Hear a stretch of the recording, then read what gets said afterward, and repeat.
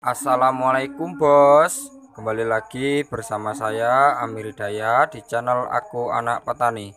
Pada kesempatan malam hari ini kesibukannya kita sedang melakukan persemaian ya bos ya. Nah, Untuk persemaian cabai lokal. Nah bisa kita lihat bersama di sini menggunakan potrai untuk padi ya. Jadi agak sulit untuk kita persemaian karena uh, ini tidak ada lubang-lubangnya harus kita garis-garis ya bos ya.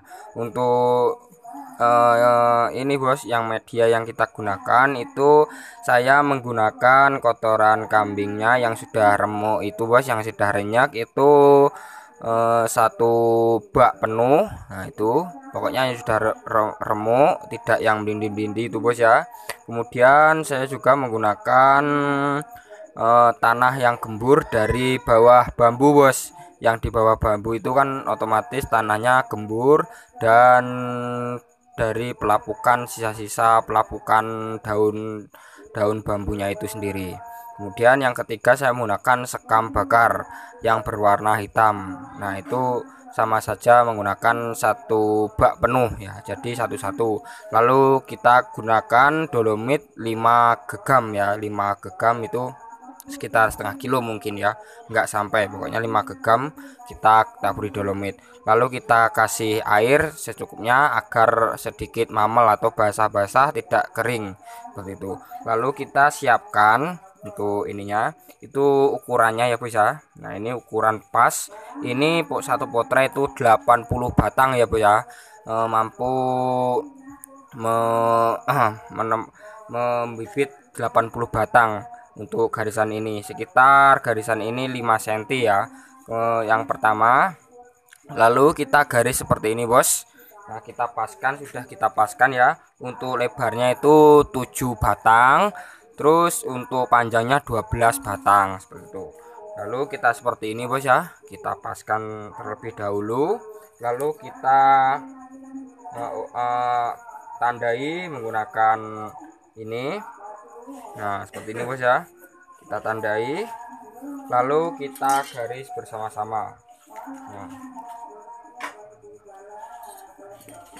kita garis seperti ini tujuannya untuk uh, rapi bos ya agar nantinya hasilnya itu persemaian rapi tidak morat marit ya bos ya. Beda dengan cara ditabur lalu kita seperti ini bos. Kita garis-garis yang terpenting ada garisnya. Nah seperti ini. Ini sangat bermanfaat garis ini bos. Banyak manfaatnya. Nanti bisa kita lihat bersama manfaatnya. Lalu setelah ini bos kita sudah menyiapkan garisan yang ini tanda-tanda. Lalu kita plekan segini. Nah kita plekan. Lalu kita tandai lagi. Dari sini ke sini. Nah pokoknya kita tandai-tandai itu bos ya nah, nanti untuk uh, bibitnya yang kita gunakan itu bibit lokal.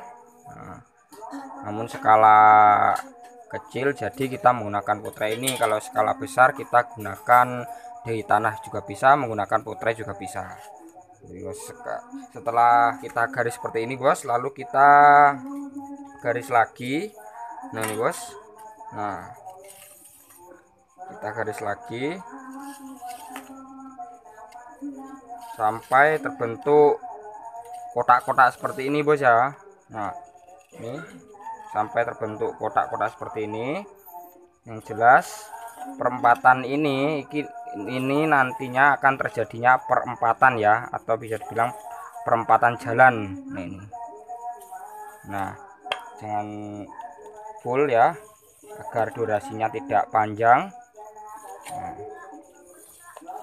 Oke bos. Setelah ini kita siapkan full fan ya. Nah, full point ini itu berfungsi untuk seperti ini bos. Nah kita tancapkan full fan ini di ujungnya ini eh, sekitar setengah senti ya. Ini berfungsi untuk meletakkan bibit benih cabenya. Nah ini.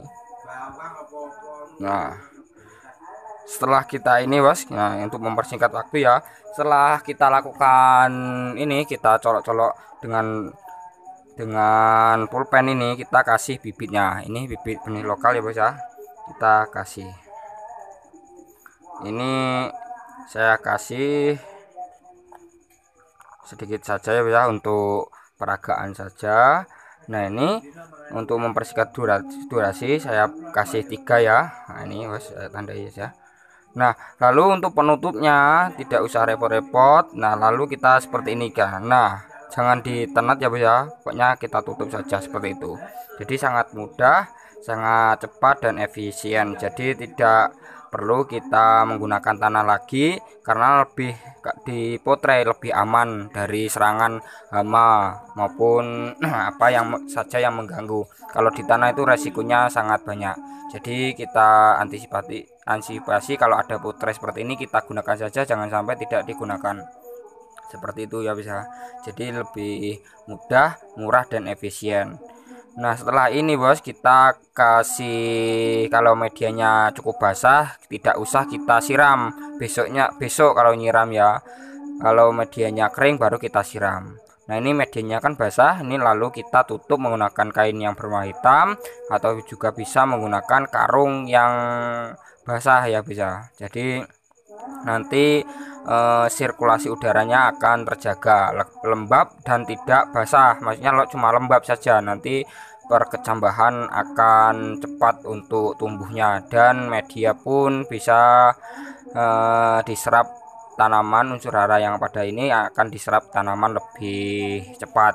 Yang terpenting untuk persemaian jangan sampai tanahnya itu kering. Pokoknya kita jaga lembab terus ya bisa setelah ini kita kasih di di apa di tempatnya. Yang terpenting terkena sinar matahari namun tidak terkena hujan agar eh, tanaman cabai kita selalu sehat. Dan jangan sampai tidak dipanaskan oleh matahari nanti dia tidak bisa berfotosintesis seperti itu. Jadi kita kasih sungkup yang jelas ya untuk eh, video sungkupnya bisa kita video besok. Nah agar pembuatan sungkup kita lebih jelas ya bisa Nah oke bos cukup sekian video dari saya. Semoga bermanfaat. Eh, jangan lupa subscribe like dan komen. Share bila video ini bermanfaat bagi saudara. Kita bertukar pengalaman kita sharing-sharing bersama. Oke bos cukup sekian video dari saya. Saya Amri Dayat mengucapkan wassalamualaikum warahmatullahi wabarakatuh